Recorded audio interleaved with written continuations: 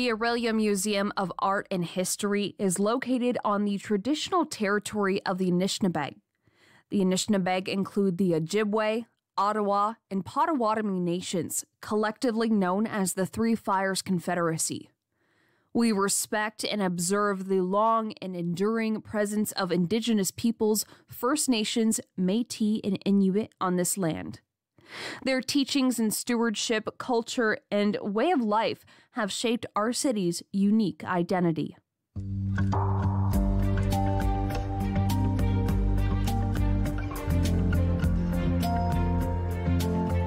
Without further ado, I'd like to introduce Margaret. She has a, a long time interest in textiles, learning to sew in her teens, studying hand weaving in her 20s, and subsequently making and selling hand woven items for several years.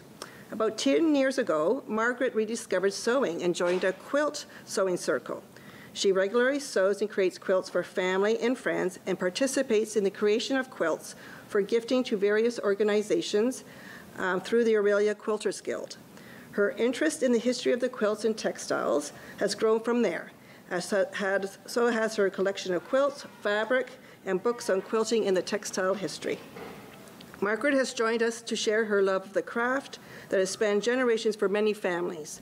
She will present to us some of her cherished quilt collection and speak to us on the history of quilting and the stories behind the quilts she brought.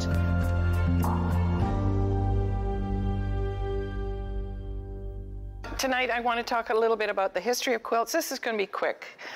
We could we could be here for days, uh, literally. I'm not going to talk about all my quilts, but many of them have tags on them. You can go and look at them if you have any questions. Happy to answer them afterwards. Going to talk a little bit about quilts. What is a quilt? Where do they come from? How are they used? How were they used? What's the history? A little bit of Canadian quilting history and some quilt stories. Um, quilted textiles have been found in many parts of the world for thousands of years. Uh, there's example of a quilted uh, silk fabric from the Far East that dates to several thousand years BC. The Romans brought quilted mattresses, which they called colchita or colchitra, and that is actually the origin of the word quilt in English uh, and also in other languages as well. But uh, as the Romans moved north in, in uh, Europe, they brought these uh, quilted mattresses with them, and that word became the word for anything to do with bed coverings, mattresses, covers, and so on. There are, uh, from the Middle Ages, there are pieces of quilted linen that date back to the 14th uh, century. And the quilted and quilted fabric and quilted clothing was actually brought back from the Crusades by the Crusaders because they, their enemies had quilted uh, clothing that they wore under their armor, which made it much more comfortable. So they thought that was a pretty good idea. This is a, a, detail of an early European quilt. The origin is Sicily, dates from around 1395, and it's in the, in the collection of the Victoria and Albert Museum in London, England. It depicts the legend of Tristan, and you can see the very detailed level of quilting. It's not patchwork, but it is quilted, and it, it puts those figures and, and uh, letters in relief.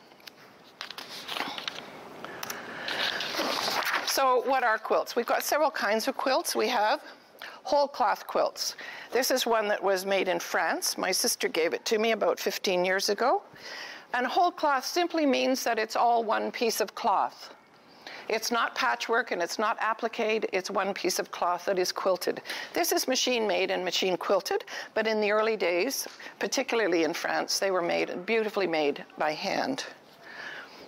On the right, you see an example of trapunto that uh, uh, originated in Italy, and it is a form of stuffed quilting so that the quilter made all these very fine stitches to outline the patterns and then stuffed from behind to give it a great deal of relief. Applique quilts are very popular and have been around for hundreds of years. This is one that actually belongs to my daughter.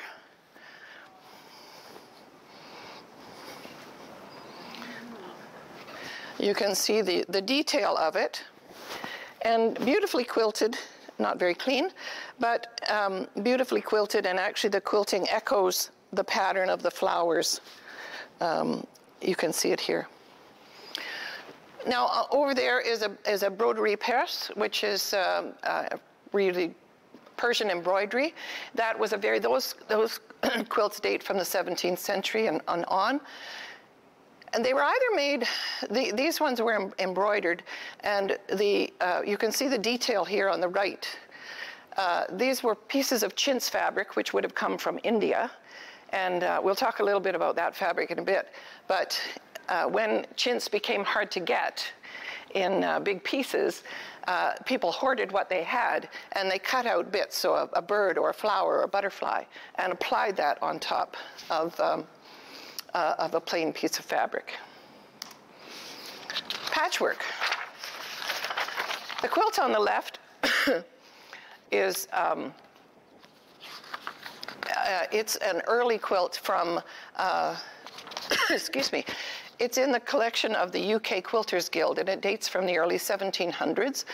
There's an initial, initials on it, uh, EH, and a date, but nobody knows who EH was. So like many quilts, like the majority of quilts, they're anonymous, beautifully made, beautifully uh, handled, but anonymous. Uh, I know very little about the makers of those quilts, very few that I know who actually made them. On the right is a very contemporary piece of patchwork. The difference between applique and patchwork, applique means that you apply one piece of cloth on another in a pattern. Patchwork means you sew them side by side. This is a very contemporary one made in 2014.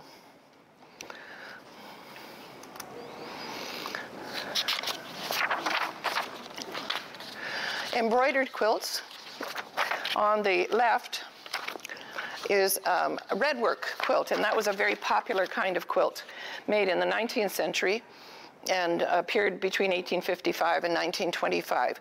Red, interestingly enough, was a color that was able to be made fast. In other words, it didn't run.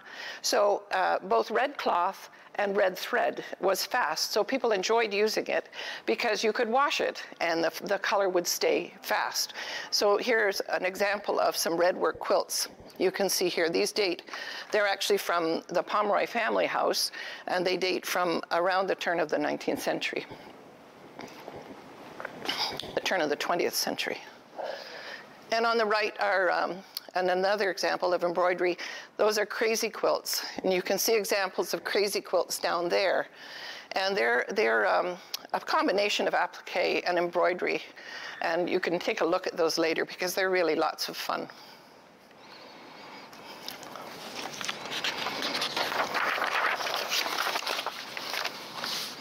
So who made all these quilts? Oh, I want to talk about painted quilts first. I want to show you an embroidered quilt this is something. A woman in Orillia made this. A friend of mine called me and she said, do you want a quilt top? And I said, well, I don't know, maybe. And so she, she brought this over. This is made from a Mary Maxim kit and it's hand embroidered. She worked at HRC and wanted something to do on the long evening shifts. So she did this. And it's really quite extraordinary. It's a queen size quilt made out of these huge blocks and the lovely pinks and greens. And so now I'm the proud owner of it. It's not quilted, it's just a top. And then I wanted to talk about painted quilts. A friend of mine brought me this. And from across the room, I said, oh, it's a, it's a cross stitch quilt. And then I went over and looked at it, and it's actually painted. Wow. It's painted. The little lines are painted. So I love to show those two quilts together. It's quite interesting that they're so similar but differently made. And now there are so many different kinds of uh, fabric dyes you can make quite extraordinary. You can see these are quite extraordinary colors and beautifully quilted. So who made all these quilts? Those who had the leisure to spend the time and money on fancy needlework, those who had means to buy fabrics and patterns, those who needed to provide warmth and comfort for their families, Well, all of the above. some were made to be used in the household, some made for more decorative purposes. The thing about quilting, you'll see in some of these quilts how worn they get because they are used. They're used and loved. They're put on beds. They're washed and aired and used. And people, you know, kick their toenails through them and that sort of thing. But that's the thing about quilts. Besides being anonymous, they're beautifully used. And they're soft and warm. So sewing and technology there's so many pieces of technology that have helped sewing over the years. Um, flying shuttle in England, 1733, the spinning jenny, 1764, the power loom, chemical bleaching, the cotton gin, the jacquard loom, all kinds of cotton printing technology. But what was really making a difference for the uh, home sewer was the advent of the sewing machine. The one on the left is, dates from 1851, a Singer machine, turned by a crank, and then a later one that has a treadle, and that allowed the, that freed up the seamstress's hands uh, so that the, the fabric could be guided through the machine. So that was a big, big deal. The other thing about the Singer machines is Mr. Singer was, he was no dummy. He uh, implemented an installment plan. So uh, $5 down and $3 a month for 16 months, you had a sewing machine. And sales exploded. I want to talk just very briefly about the history of cotton. Cotton is what we use mostly in quilts today and over the years. India was an early um, adapter of cotton. They grew cotton and they had a climate that allowed them to work outdoors. And they had a climate that allowed them to grow certain kinds of plants that could be used as dyes and as mordants. And mordants are what is used to fix a dye. And they had been very, very successful as early as the 14th and 15th centuries in making these gorgeous, gorgeous patterns. This is a contemporary photograph, but it's a block print on a wooden block, and that's been used for centuries. They also painted on fabric and used resist dyes. Well, in the 14th and 15th centuries, when trade routes were being opened up, they were really opened up from Europe for spices. But when the European boats got to the Spice Islands, they saw these kinds of amazing cloth from India. And they thought, well, they'd better take some home, which they did. And of course, people were just wild about them. They were light, colorful, color fast, beautiful fabrics. And they were so popular that in the early part of the 17th century, uh, England and other European countries banned the importation of cotton. And um, so they banned the importation of cotton from India uh, so that be, to protect their own textile industries. But it kept sneaking in there anyways. But this is what I was saying earlier about chintz fabric. Chintz is a Hindi word for spotted cloth. And when chintz became scarce in Europe, that's when they began to cut it up and applique it onto other pieces of fabric. We can't talk about cotton without talking about the slave trade which occurred during the 16th to 19th centuries in different parts of the world. And much of it had to do with cotton. Um, and this leads to an amazing story which has begun to emerge within the last 30 or 40 years about the quilt codes of the Underground Railroad. Have any of you heard of this? Yeah. So you know that there is some controversy uh, attached to it about whether or not it's true. Uh, but um, the oral tradition holds it up, and uh, but there isn't much in the way of a written tradition about it, because it was an oral tradition, and uh, but when the, you know during the 19th century, over 100,000 slaves uh, escaped to freedom uh, mostly to Canada, many to Canada. They were helped by a number of individuals. Harriet Tubman, Frederick Douglass are two examples of black Americans who devoted themselves to assisting slaves. Quaker communities provided assistance, other church groups, and individuals.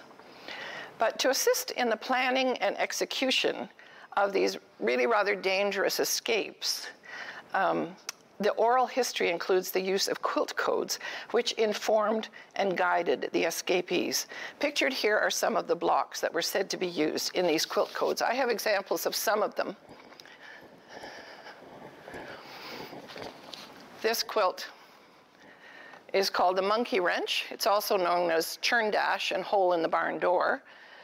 But monkey wrench, uh, when you saw a quilt, a monkey wrench quilt hung out, that meant that you should begin to gather your tools, begin to gather your supplies and get ready to move on. And uh, it also uh, was associated with the blacksmith on the plantation. And the blacksmith was somebody who not only worked on the plantation, but worked around the plantation, and so knew the lay of the land and was considered to be a pretty smart fellow. So that's one of them. I don't have an example of the next one. That's Crossroads. Crossroads refers to uh, Cleveland and Detroit, which were crossroads where one could embark to freedom. The log cabin, there is a log cabin quilt over there, the yellow and green one. Uh, that indicated safe housing. Uh, bow ties, which is the far one there, uh, was it, it, was a warning that you should dress up. If you were found in your slave clothes, you could easily be identified as an escaped slave. So at some point, it was wise to put on some different clothing. And so that was the sign when you saw that. That was what you meant to do. I have a quilt down here, which is a bow tie quilt. It doesn't look like that. I always knew that block as broken dishes. but anyways, that's a bow tie quilt as well. So this is Drunkard's Path which you can see on the second row. And that's a, that warned people that there were um, uh, slave catchers about and uh, that you should, you should meander a bit. Don't take a straight path. You should meander a bit. Go forward, go backwards, take the drunkard's path, and uh, that way you escape. A star. There are so many star quilts and star blocks, but the star was follow the northern star. And the tumbling blocks, which is the far one, I don't have an example of that, but that again was one that said, get ready, get ready, starting to move, starting to, to, to go. So it's a very interesting, as I said, somewhat controversial subject. But um, a dear friend, Andy Charters, has loaned me this book, Hidden in Plain View, by uh, uh, Jacqueline Tobin and Raymond Dobard, both quilt historians. Uh, Raymond Dobard is, was a professor of art history at Howard University, and Jacqueline Tobin is a quilt historian, uh, both American. And uh, this is a fascinating book um, that talks about the quilt codes of the Underground Railroad. So, recommend it. So, that's just a little aside. So, let's talk about Canada's quilts. Um, we have a long history of quilting in Canada. Uh, warm bedding was of the utmost importance because of our climate. Guidebooks for settlers warned of the necessity to bring uh, bedding as it was very difficult to procure because you could imagine, I mean, when this area opened up in the 1830s, uh, we didn't have the general store yet. We didn't have trade established very much. So if you didn't bring it with you, then you probably didn't have it. And um, in Canada, uh, folks were able to grow flax to make linen and to, to have sheep to make wool. But it took time to establish that. So uh, it, things were pretty, uh, cotton and, and so on were, were pretty hard to come by. As the uh, cotton mills began to uh, proliferate in the States around the 1850s, cotton became much more generally available and uh, people could go to the store and buy lengths of, of cotton. But then the, the, the frugal people who made the quilts gathered their scraps and, and put them together in the most interesting and amazing ways. Uh, cotton from England and the US became more available uh, by the mid 19th century, and quilting became a very popular and very necessary pastime as sewing machines became more common in the home and production increased. And quilts were often made by women mostly, and they had lots of other things that they had to do. They had childcare, they had farm chores, they had household chores to do. Uh, so quilting was done uh, in spare time, of which there wasn't much, and maybe by the light of an oil lamp or candle. So it's amazing the quilts that were produced under these circumstances. Beautiful, beautiful quilts uh, with very primitive tools. I mean, the tools that we have available now are, are uh, extraordinary. But when you think of them making them uh, without um, all of the, the special tools that we have now. They just amazing things. This shows the book cover of Mary Conroy's book, Canada's Quilts, published in 1976. It's a wonderful book about Can Canada's quilts although some reviewers will say that her Canadian history is a little sketchy, but um, it's, nonetheless, there's a lot of very good information about the quilts, the quilts of Canada.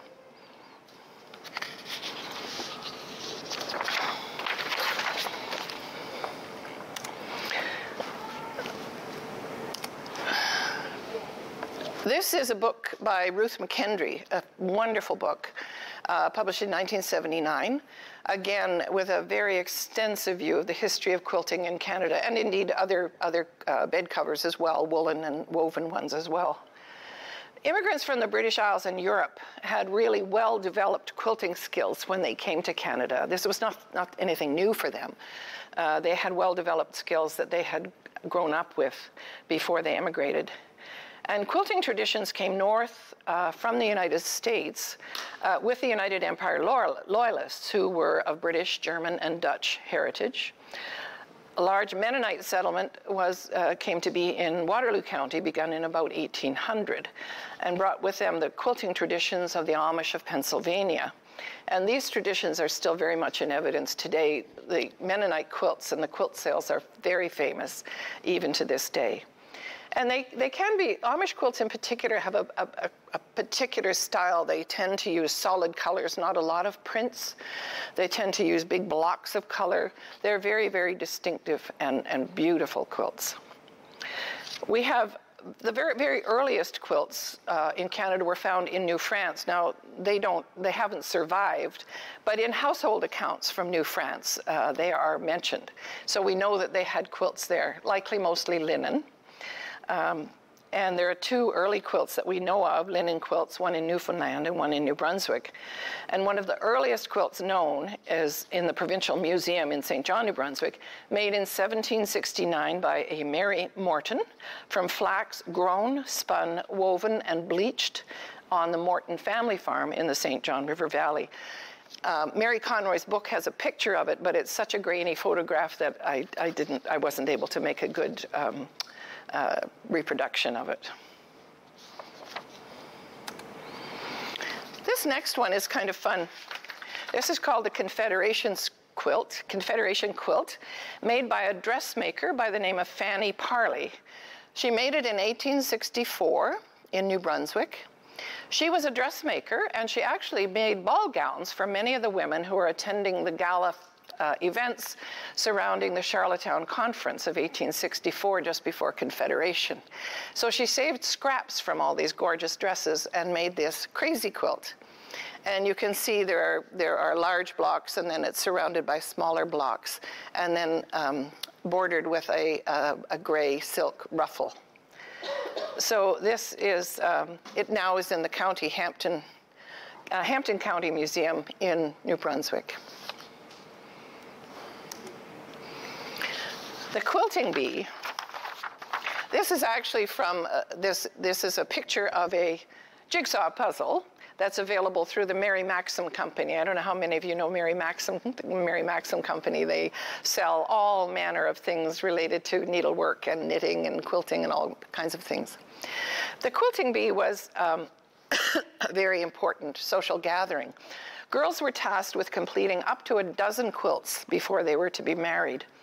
In Ruth McKendry's book, she talks about this is a wonderful story about a family of uh, 12 girls, only one of them married. And when the family home was cleared out, you know, many, many years later, she found over 156 unquilted quilt tops that had been made by all these spinsters and never quilted because often, even though they made a dozen quilts, they weren't quilted until there was an actual ring on the finger. So, uh, but once that happened, then they jumped into action and got busy at the quilting bee. The friends and neighbors came. Uh, there was usually a bridal quilt made, which might be um, uh, a, a, special quilt, often appliqued, often with roses, and that was uh, uh, usually quilted by the bride and her immediate family. So the quilting bee was um, often planned for the afternoon. And of course, if they could go outside, that was always a bonus. And uh, men were invited to join the women for a meal after the quilting bee, and that was a great opportunity for some music and dancing and socializing. Also from Ruth McKendry's book, a little bit of quilting folklore. A broken thread, a crop gone bad, a twisted stitch, a baby dead. And when you're at the quilt uh, bee and you finished quilting, somebody will put a cat on the top of the quilt and you shake it. And the, the girl towards whom the cat runs is the next one to be married. and there are cultural symbols that are stitched into these quilts as well, again from Ruth McKendry. A weeping willow is a memory of a lost love. So if you see quilting stitches that, that remind you of a weeping willow. The letters H and L stand for Holy Lord, and it's a, a safeguard and a blessing that is stitched into the quilt. Shooting star, a memory of a lost child. Roses, passion, love, and fertility, most often found on the bridal quilt. We have a really strong tradition of quilt and quilt making in Simcoe County. Ada Torrance was an artist from Orillia. Some of you, I'm sure, are familiar with her name. She was a, a painter. Uh, but she also had a, an enormous interest in textiles, and she was a quilt designer. We have, I think Lindsay can corroborate this, we have some of her quilt designs in the collection at Orillia Museum of Art and History. And um, uh, this particular quilt um, was one that was sewn and quilted by the uh, Women's Institute of Coulson, and it went on to win uh, the Toronto Star Weekly Canadian Quilt Making Contest of 1956. So you can see the whole quilt is obviously sugaring off time, and then you can see some detail as well. Beautiful stitching, quite a modern looking quilt really. But again, appliqué, you can see the, the applique of the woman's form and her dress and so on. Quite a lovely thing. This one is interesting. It's another Ada Torrance quilt. This uh, photograph comes from the Public Library archives. And uh, it's called uh, Northern Lights Quilt. And I'm sorry it's not in color. I couldn't find a picture. It's in the, it's in the collection of the Royal Ontario Museum, but I couldn't find it in. I couldn't find a photograph of it in their collection online. But um, Torrance felt that the quilt design offered an opportunity for drama, for something depicting Canada coast to coast, and she chose to portray the aurora borealis, the loon, the Big Dipper, and the North Star. The colors were quite modern, jade green, chartreuse, lime green, yellow, and black. And materials were difficult to source in those colors in the mid 50s, but she found them aided by her friend Olga Maudsley. And Olga Maudsley happens to be my late husband's great aunt. Olga was sister of John's grandmother. And of course, I knew Olga much later. I wasn't on the scene in the 1950s. Well, I was, but not here. Um, in the 1950s, so I never met Olga until she was quite an elderly woman. I never knew she had this interest in quilting. So, uh, again, it's one of those it's one of those lost stories that you wish, if only I'd thought to ask somebody, you know, but I didn't know. So that again was a prize winner again at the 1956 um, Star Weekly contest, and um, it's now, as I said, in ROM's uh, textile department as part of their uh, permanent collection. And all the one, it was all uh, pieced and quilted by the women of the Simcoe County Arts and Crafts Association. Now, um, many quilts are made to gift to people. I belong to the Orillia Quilters Guild, and, and we as a group uh, make and donate hundreds and hundreds of quilts. Um, they can go to seniors' homes. They might go to a hospital. There are groups of people who make them uh, and donate them to police organizations so that a police cruiser can have a quilt in the trunk, and then it's available to provide comfort uh, if, if needed. One of the biggest uh, outpourings of this type of quilting happened during the Second World War. Um, the Red Cross, uh, the Canadian Red Cross gathered uh, quilts made by Canadians, mostly women, some children, some men. and they were made in the thousands. During the war between 1939 and 1945, Canada sent just about half a million quilts to Great Britain and to Holland. And they were used and loved uh, there people who'd been through the Blitz and lost everything, people who had, uh, had gone through troubled, troubled times, and so they received these quilts. You can see on the left one that was made in Moose Jaw. Very simple quilt, a, a simple nine-patch quilt, but the thing about it is that kind of quilt can be made by a number of people everybody takes a block and makes a block. And uh, you, you make it with your own scraps or you borrow scraps from somebody else. And then it can be pieced together and quilted by the group. And this on the right, the gift of the Canadian Red Cross Society, is usually the only tag that went with these quilts.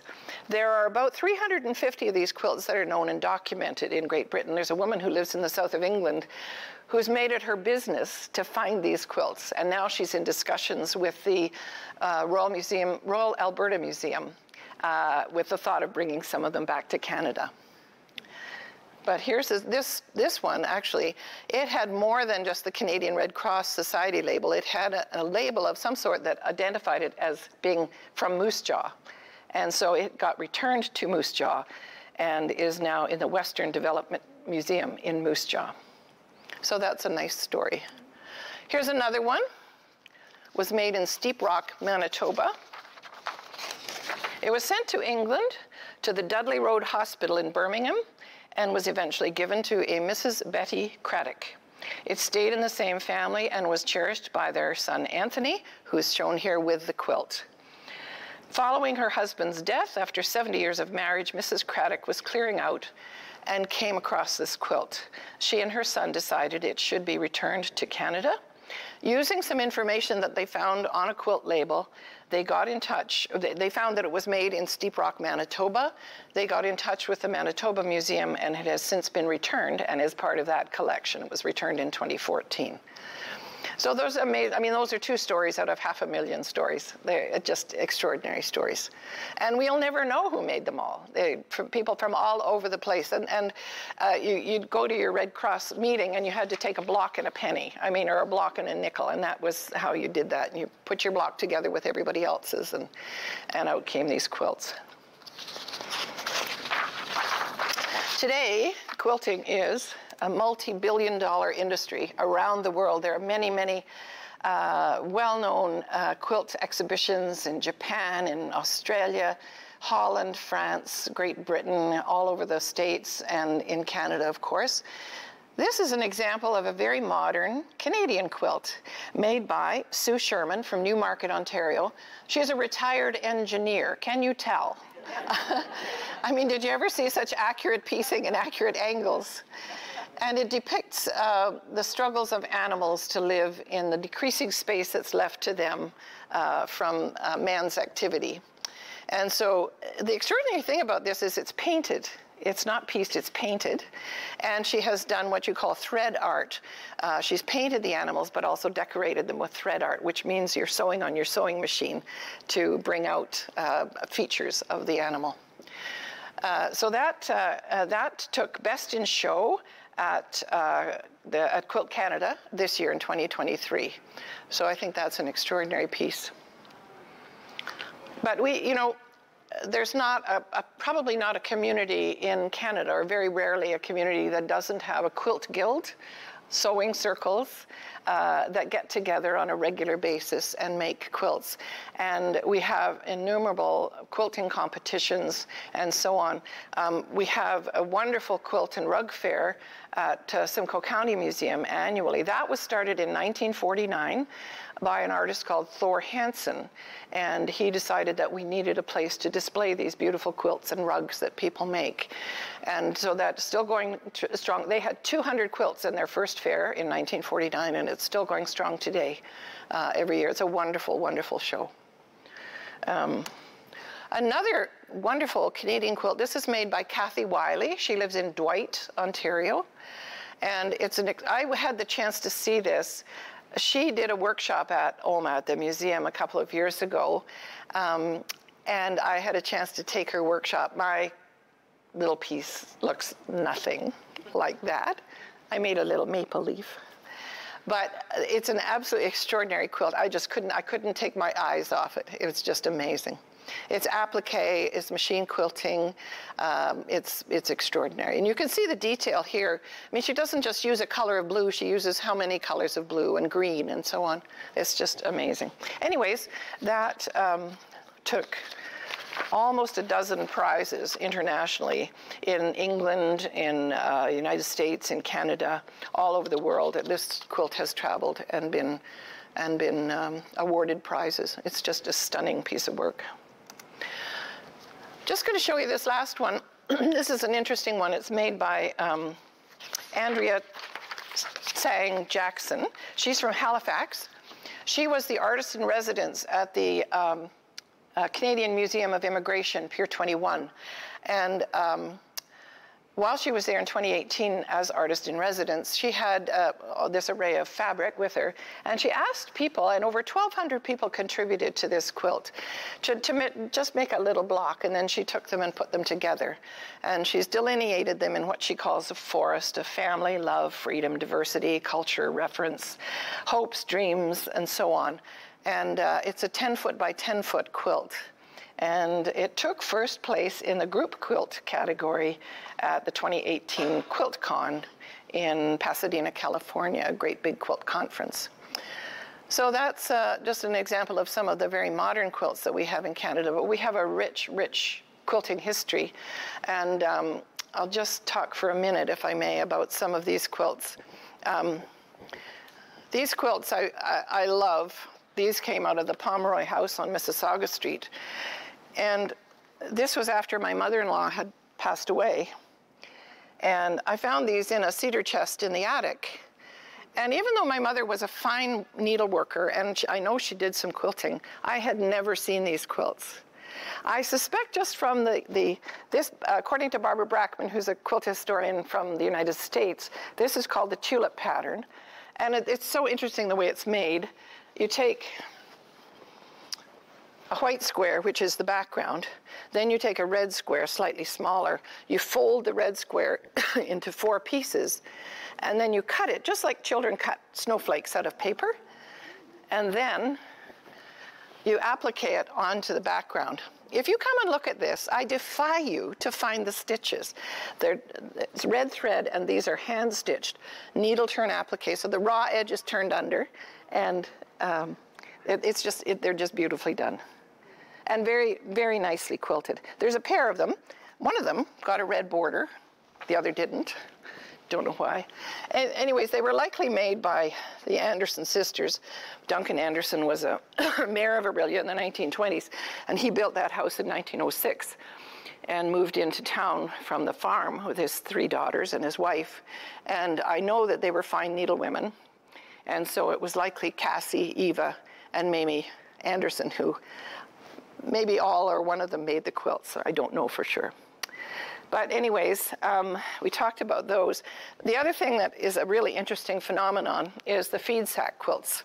Um, in the 19, 1920s to 1960s, um, manufacturers who, who manufactured and sold um, grains, flour, sugar, and so on did so in feed sacks. And uh, they were uh, they discovered that if they made the feed sacks out of pretty material, then people would buy their flour as opposed to somebody else's flour. And so, you know, a wife might send her husband into town to say, get me 100 pounds of flour, but this is what I want. I want this pattern that uh, this quilt top, it's just a quilt top, not, not finished, is made from feed sacks. And I, I was disbelieving, but I bought it from a, a woman who wrote, wrote a book on Canadian feed sacks, so I guess she knew what she was talking about. Until I found this feed sack, which is a gingham, because I'd always thought of feed sacks as being colorful floral prints, but that one isn't. This quilt, I don't know for sure, but I think it's a feed sack quilt because it's so bright and so pretty. And this is called, um, um, oh, if I had a brain, I'd be dangerous. I can't remember the name of the pattern. Sandy, help. Pardon me? I didn't hear. Sam. Sam. Yeah, oh, the stamp, yes, postage, postal, postage stamp, yeah, yeah. Anyways, um, some quilts are very utilitarian, these two, for example, are wool patches, and uh, they're narrow, and part of that is, and they're, they're lined very simply, and tied, not quilted, so quick to make, and they're narrow, and some people think that these are made for the, the hired man's bed, because all he got was a cot. so, but they're warm and serviceable. This one is actually made out of men's suiting samples. And these, of course, are some crazy quilts, which I love. I think they're beautiful. But sadly, I don't know exactly who made them or exactly when they were made or where they were made, but they're lovely. Quilters nowadays are, are, are told, put labels on your quilts just so that we now can understand where quilts are made and anything you want to put in about it, what year it was made, who made it, who quilted it, and so on. And this is one of my grandmother's quilts, so that's rather special to me. Just a simple Dresden plate. So that's all that I have. Oh, I have to tell you about this quilt. This one. And then I'll stop talking. Um, this quilt was made in Prince Albert, Saskatchewan. My mother graduated from the University of Saskatchewan in 1938. And she, her first teaching job was in Prince Albert. So she went up there to teach, and she bought a ticket on a quilt raffle, and she won this quilt. It's made out of men's ties, and uh, it has this extraordinary magenta background, which, as my mother washed it, you can see has come through on the quilting. But uh, anyway, so she was very pleased with it, and she told my she was engaged to my father at the time. My father was a very, uh, very newly minted United Church minister, and he was horrified that his fiancee had bought a ticket in a raffle.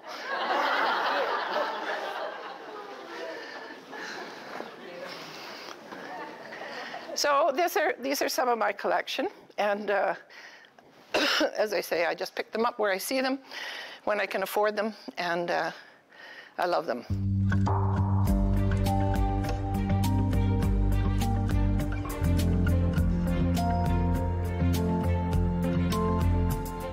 Now, we have some special guests who are going to come and talk about their own quilts. We have Beverly Baker. This quilt was made by my mother, and I don't know if the, we want to keep the lady standing holding it. Uh, she gave it to me in 1976. It's her own design, and she made her own patterns. She made it particularly for me because I love oval shape. I have a lot of oval shapes in my house. I have oval mirrors, oval picture frames, an oval dining room table, and many other things. And then my favorite flower is the rose. So she's done the, the ring of roses. She quilted every stitch herself, did every did the applique and everything herself. Actually, she was uh, a great person to go out to quilting bees and quilt on other people's quilts. But when she was making a quilt for a gift or for a customer, she did every stitch herself. Nobody else got to to not to quilt on her quilts. Anyway, my my grandmothers and great grandmother had all, as I say, lived in this part of the world, and they had quilted for the reasons that Margaret mentioned to keep warm. They lived in the country. They made their quilts out of patchwork, out of old garments, out of the, the tied quilts they made out of men's trousers or women's skirts or whatever material they could put their hands on. Now, by the time my mother was making this quilt for me, we had moved to a little more comfortable situation. We did, I was a bread depression baby, and we lived through the war, and we had many privations and troubles. But by this time, we had electricity and we had uh, central heating. And my mother didn't have to make quilts. She did it as her art, her hobby, what she wanted to do. And she used to say she couldn't bear to go out and buy perfectly good material and cut it up into little squares and sew it together again. She wanted to paint pictures and uh, express her, her feelings with her quilts. She made one for a gentleman who collected antique cars, or maybe vintage cars. I know there's, there are differences, but she sought out pictures of the different cars of different ages and appliqued and embroidered cars on that quilt. Another quilt she made with all different kinds of spring flowers, only the spring flowers, you know, daffodils and tulips and trilliums and so on. So she was, she had her very definite ideas about her, what her design should be. It's beautiful, just lovely. The one other little bit of finishing up here, we all are familiar with Orillia's famous museum, Gordon Lightfoot. My, he went to, my brother went to school with Gordon and sang in a quartet with him for a time. Every time I hear that beautiful song, Pussy Willow's Cattails, I think my mother would have made a quilt with Pussy Willows and cattails. She's already done the roses. We also have Diane Francos, who has a quilt here. Do you want to talk us, uh, talk us through that quilt, Diane? Um, I actually bought it in Seattle, and it's a patchwork quilt. I was told that it was probably done in the Depression, and I, what I liked about it was all of the colorful fabrics because I think sometimes we think of, um, well, you know, before black and white, all the pictures were in black and white, so we don't think of the colors that people wore. I think that's what I was thinking about. As a child, um, I did start to make a quilt, uh, a, a, nine square. I don't know where it is. I never did finish it. Um, but I did buy a Singer sewing machine. I was 12 years old. Good for you. I couldn't, it was $60 and it was $5 a month for a year. I thought I could earn that much money babysitting. But of course, Singer wouldn't allow me to put my name on it, so I had to get my mother to sign for me. and uh, my mother had had a treadle mm-hmm. sewing machine, mm-hmm. and this was an electric sewing machine.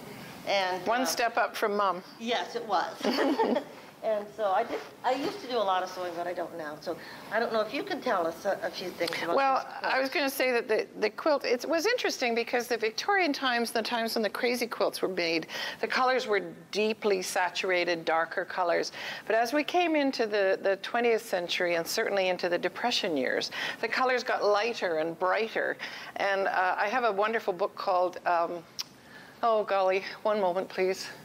Um, oh, bright colors in dark times, and it's all about the quilts of the Depression, and uh, and it's amazing how how bright the colors were, and, and soft pastels and so on that were more comforting than the, the dark, more gloomy ones. So I would say there's probably a lot of Depression era fa uh, fabrics in here, but also, uh, you know, the interesting uh, thing about quilts is people collect fabric to make a quilt. And I have, um, in quilts I've made, I have dress fabric that I might have bought in the 1960s or 70s, and I think, oh, well, I'll just use a little bit of that, you know.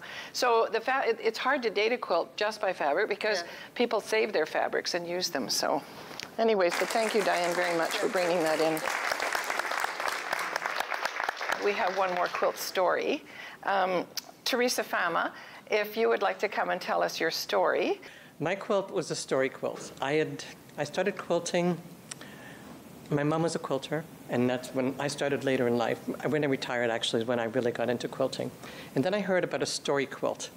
I thought, a story quilt? I've never seen or heard of a story quilt. This lady had made one, so I contacted her and asked her more questions. And I said, you know, I'd love to make a story quilt of my childhood home. I grew up in, in, in an area, Thunder Bay Beach, near Penetanguishene, and it's an area like no other. I lived across the road from an amazing park, a beach, a wooded area behind us where we played, and it was my playground. and I wanted that memory to be preserved in time. So I decided to make the story quilt. Instead of making patchwork or appliques, I actually painted the pictures on each block. So the entire center of the quilt is a block of pictures of my favorite memories. Just to give you a little example, one of my memories, there was a, a baseball diamond across the road from our house as well. And we, we raised pigs and chickens. Three little piglets dug a hole under the fence one day during a baseball tournament and ran across the road into the field all the, the ball players threw down their bats and their gloves and started chasing these three little piglets all around the baseball field. And they caught them and they brought them back to our house. And they said to my parents, best ball game we've ever had. So when I painted that block, of course, I put the baseball field with a picture of me pitching the ball to one of my little sisters and little piglets around me. right? So each, each block actually tells the story. And and they're painted. Around the, the center block, it is not painted. It's actually fabric that I purchased with a beach, like sand, water, and the sky. Um, one of my cousins, I'm Métis, one of my cousins was putting on an event last two summers ago about the Métis down in the area where I grew up. So I said, hey, I'm Métis, can I come and show my quilt? And he said, well, absolutely.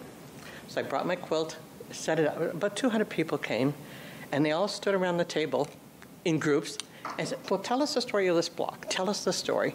And this kept going, right? And they were all interested and wanted to know more. And people started saying, You should write a book. And guess what? I did. the quilt changed my life, right?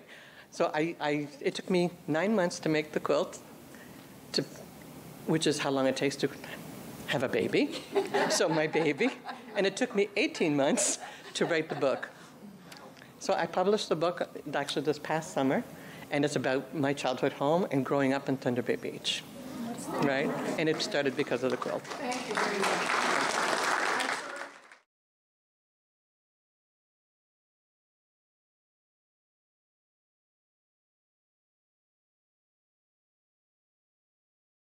thank you very much for such a terrifically complete rendition of your story. I know you could have gone into sub stories for every quilt. Well, your mother's quilts, for one thing. Well, you know, don't even get me going because we could be here all night.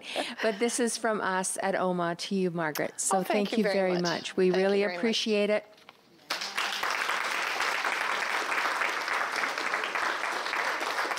Thank you.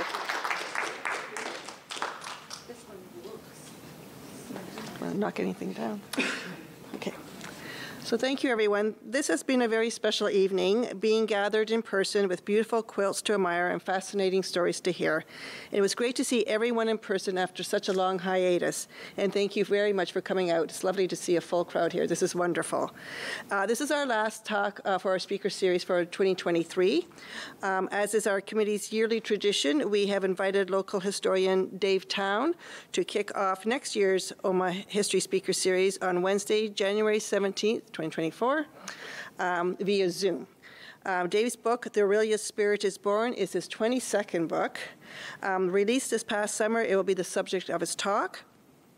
Dave has invited everyone along on this exploration of determination, vision, and audacity Orillia was once famous for, starting back with the early settlers who labored to clear land and build a better life for their children. The OMA History Speaker Series has its 2024 calendar lined up, and we're actually starting to book 2025, if you can believe it. Um, we have responded to survey requests, requests about the topics you would like to see covered, and a peek into a couple of the topics we'll present next year. Orillia Matters community editor Dave Dawson will present the Packet and Times, its history, and the move to digital media. John Smith of the Orillia Heritage Center will speak on the history of the Tudhope Carriage, Carriage Factory. Um, thank you for your ongoing support. If you wish to support OMA programming, there are donation boxes by the refreshment uh, table. They help support OMA's programming for children. Um, if you would be interested in joining the History Committee, um, please reach out to me or any of the members who are here tonight. We would love you to join us. We're just a bunch of fun local history enthusiasts, and we'd love you to join us. And we wish you a very happy and wonderful holiday season. We just um, finished Thanksgiving, so uh, on to Christmas now. So we look forward to seeing you in 2024 um, at Dave's Talk. And once again, thank you so much for coming out. And thank you, Margaret. It's been a wonderful evening. Thank you.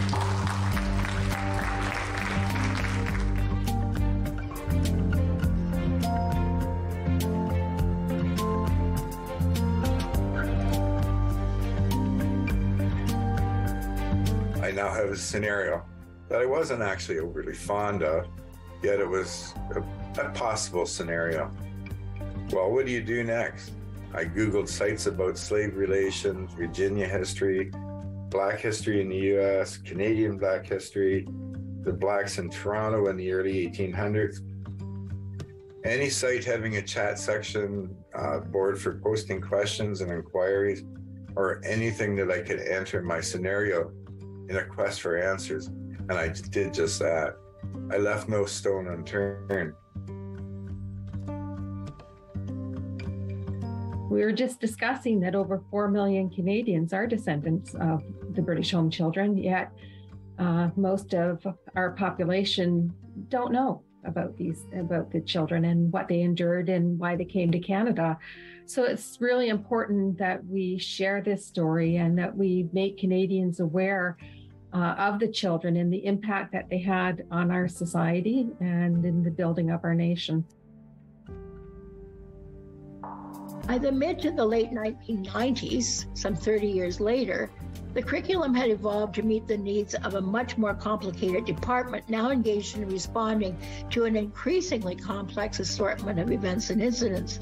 The curriculum had also advanced to meet the needs of the corporate side of the fire department. Because remember, running a large or even a medium sized urban fire department is basically running a corporation.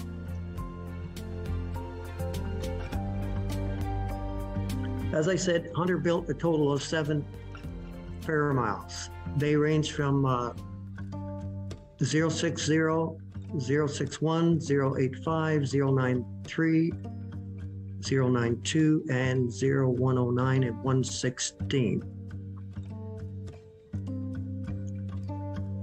As the fair mile uh, got built through uh, different small uh, boat builders, a group was formed by Alistair Hunter and his son Don.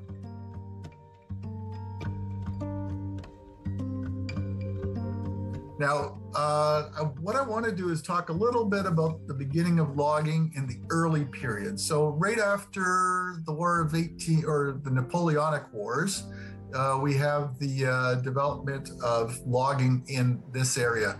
Uh, and the logging started uh, right around uh, the first sawmill was was the Coldwater Mill. Anyway, the Coldwater Mill was uh, started as an economic development project. And one thing we know about people from Rama is they're entrepreneurs today. They're known as being one of the most entrepreneurial um, uh, bands in Ontario.